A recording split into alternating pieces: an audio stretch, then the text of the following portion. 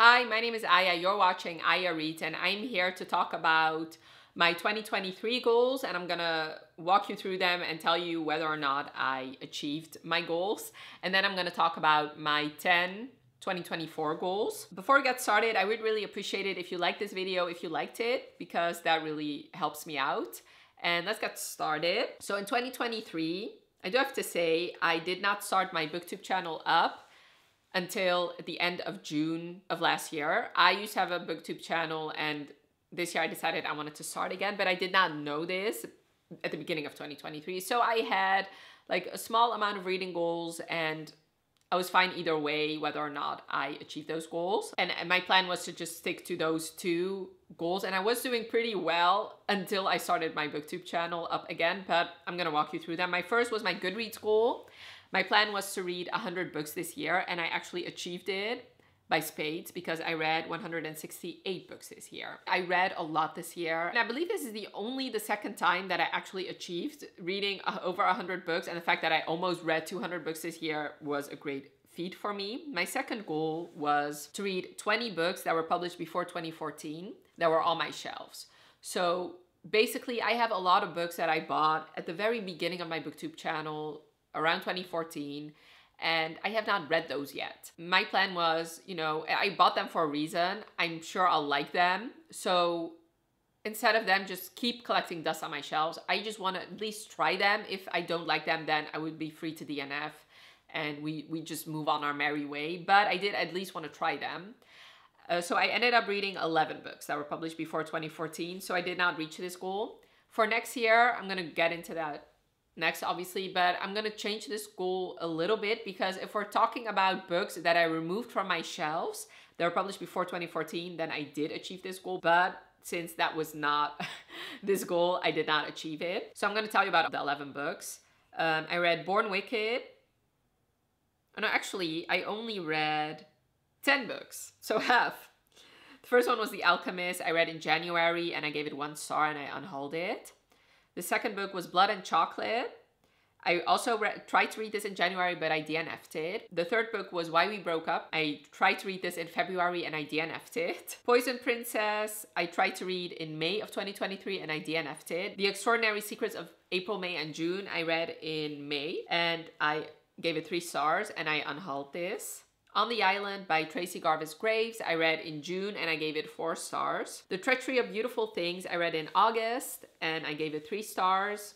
The Assassin's Curse, I read in September and I gave it four stars. The Pirate's Wish, I also read in September and I gave it four stars. The last three books I talked about I actually read in my video where I read books from my first ever book haul. So definitely check that out if you want to know more of my in-depth thoughts. And then the last one was Raised by Wolves, which I read in October and I gave it three stars. So I'm gonna talk about this goal again in my 2024 goals, but we'll get to that. Now for my series goal, this makes me sad because I did want to make a concerted effort to really, really cut down on my series I was reading, and I did not really achieve this goal, mainly because of all the series I started, and I do have to say I do blame that on me starting my booktube channel again because it's so easy for me to start series up again, and also the Goodreads Choice Awards really mess with this goal because a lot of books I read for that video started new series for me. And I did do a separate video of all my series. So this is like an overview. If you want to know more about the series I started, I finished, I DNF, definitely check that video out. I'll leave it linked for you. But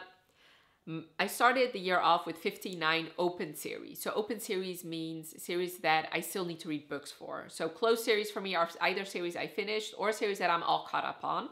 So I started the year with 59 open series and my goal was to end the year with 30 open series. So I did end up closing 23 series and DNFing 15. So technically I did achieve this goal, but the problem is I also started 27 new series. I do have to say some of them I also DNF'd or finished. And if you want to know, like I said, check that video series video out because I will give you all the details. But at the end of the day, I ended the year with 48 open series. So that means that is less than I started with. So I started with 59 and now I have 48. So that is 11 less than what I started with.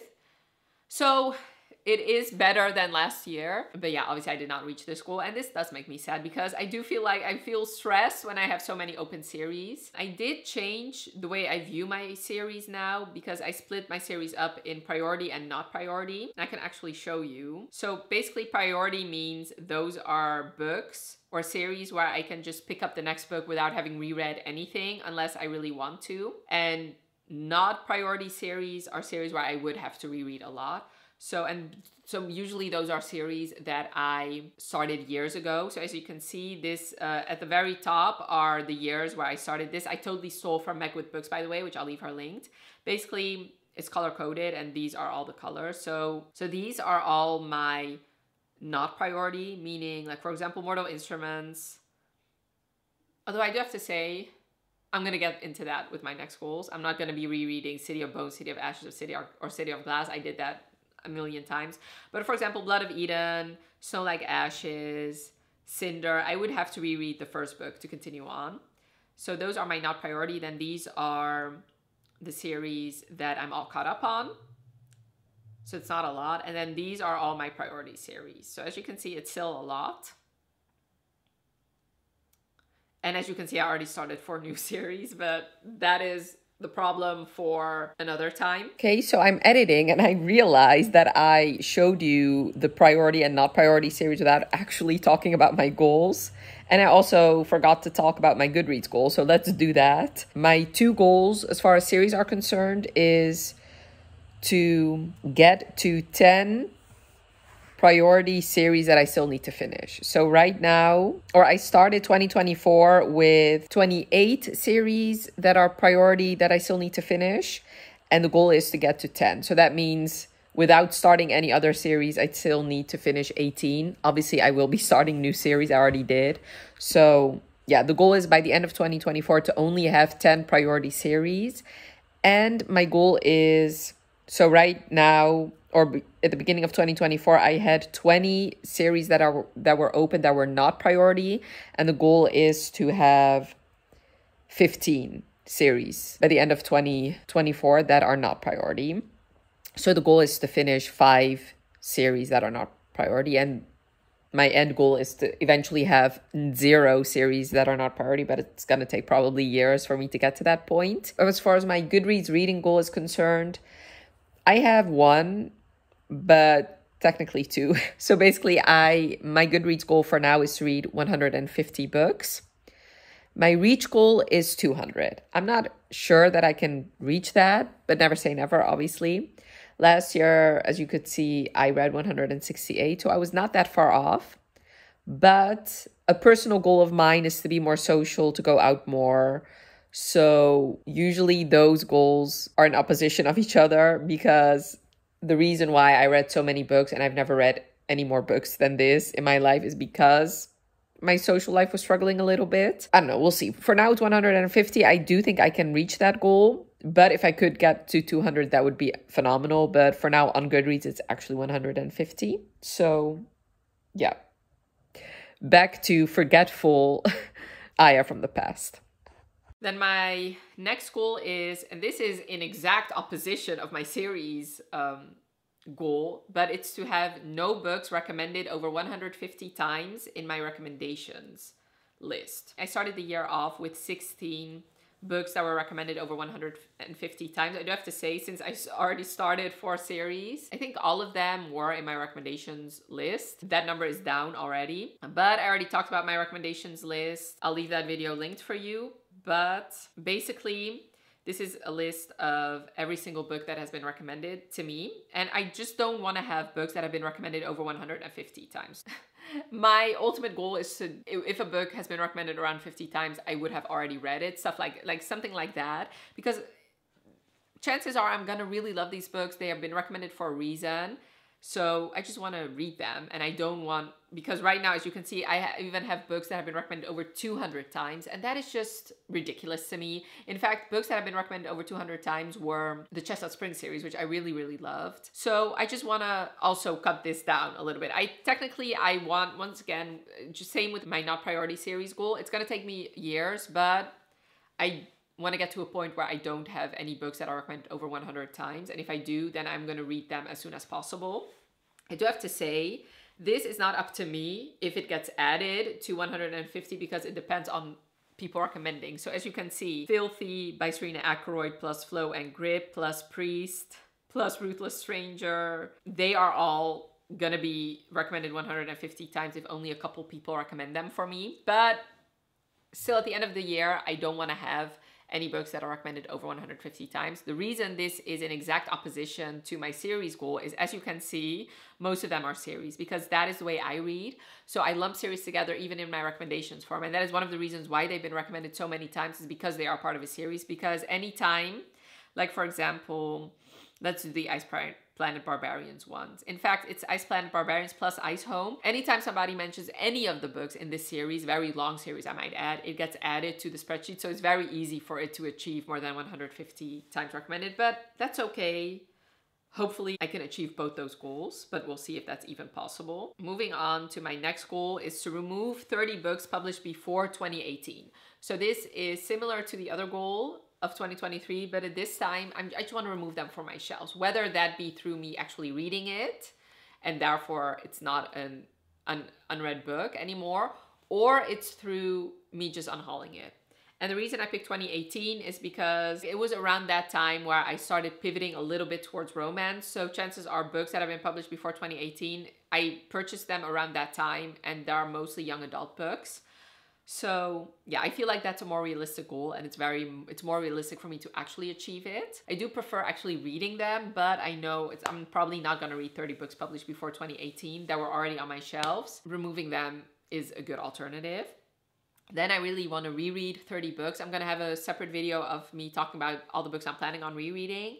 But I do love rereading. I love revisiting stories that I've loved in the past. I also love rewatching movies and rewatching TV shows. So, and I feel like since, especially with BookTube, it's easy to read all the new stuff, but I do want to make time to reread my favorites. Then I really want to finish or at least get a good way through the Shadowhunters universe because as you can see by my series list, I started that series in 2013. So it has been 10 years that I have not finished this series. That is not acceptable in my opinion. And I would have DNF'd this series a long time ago if I did not love the Infernal Devices so much. So I do know that I love Sandra Clare's writing and especially her historical books. I do really love them, but the Mortal the, the Mortal Instruments is just not my favorite. But I do want to just read them because I do know there are characters from the Infernal Devices that do make appearances in the Mortal Instruments. And, and I tried this two times in the past. In fact, I reread the first three books multiple times because I was planning on continuing on. So, so far, I've never really continued on but this time i'm just going to start i'm not going to reread the first three i think i'm just going to watch a recap on youtube or read a recap and then just continue with start with City of Fallen Angels, and I'm just gonna read them in order of publication date, meaning I'm gonna be rereading the Infernal Devices in between, so that will just keep me accountable, and that means that hopefully I will really, really, really get to them because I have an added incentive of knowing that I can read the next book in the Infernal Devices if I finish one of the Mortal Instruments. After the Mortal Instruments, I really want to read her other two series that she's published, so hopefully I can get to that in 2024. Then I, my goal is to read at least 50 books that were published in 2024, so new releases. And most of them are going to be romances. I just want to be, be more up to date on the new releases. Obviously, I make booktube videos. I know that if you talk about new releases, people are going to click on your videos. And also, I kind of want to avoid what happened with the Goodreads Choice Awards. I just want to read like a couple extra books for that video instead of me reading, trying to read the entire 20 and not succeeding. So yeah, I just want to be more up to date and that way I can recommend you guys books that you should pick up or avoid. Then I've just been missing a lot of fantasy in my life. I last year I didn't read nearly as many fantasy books as I wanted to. So this year I do want to read more fantasy and fantasy romance or romantasy. So my goal is to read 50 at least 50 fantasy and or romantasy. I just love that genre and like I said, I just don't read enough of it and hopefully this goal will get me to read more of them. Then I want to read the backlist of at least five authors. I love reading authors backlists and I feel like I don't do them enough. And I have a couple of options and this can change. This is definitely not set in stone. but I just want to read the backlist of five authors this year and let's see if I can actually accomplish that. The first one is Elsie Silver. This is very easy because it's only one series that I would still need to read to have read all her backlist. Leigh Bardugo is one that I'm interested in reading all her backlist. Sam Mariano, Talia Hibbert, Lauren Asher, Harley Laroux, which is also pretty easy for me to read her backlist. Nikki Sloan and Laini Taylor. Yeah, those ones are contenders. And maybe if there's somebody else, maybe TJ Klune. But I do want to read more backlist, so maybe I can also make a video about that. Then I want to read at least four fan fictions. I read three fan fictions last year. Since most fan fictions I'm interested in are very long, I'm just going to put it at four. Hopefully I'll reach that goal. And maybe I'll even read more, but for now I'm just going to put four and I would be happy if I read those four.